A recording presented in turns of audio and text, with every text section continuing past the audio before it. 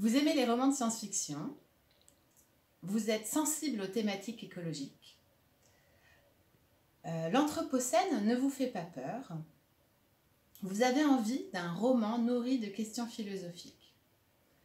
Euh, vous vous demandez comment les hommes préhistoriques sont venus à la conscience individuelle. Vous aimez les mondes sous-marins et les films de James Cameron. Vous n'avez pas peur des romans bien écrits ou un peu compliqués à lire. Je vous invite à lire ce livre, Ici la Béringie, de Jérémy Brigido.